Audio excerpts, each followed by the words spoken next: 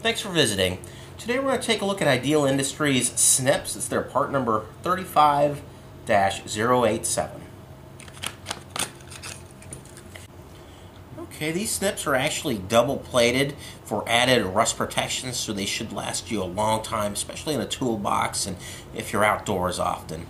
Now, it also has extra deep serrations on the blade, which will actually grip the cable better better and easier, which will make it a lot easier to go ahead and cut. I know a lot of the cheaper blades, they actually, it's, it's not as jagged, so uh, when you cut a lot of cables, you actually do feel it slide off a little bit.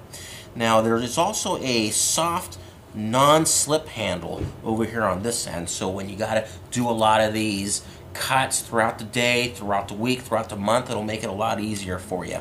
And this is also cut up to 16 gauge solid and 12 gauge stranded cable.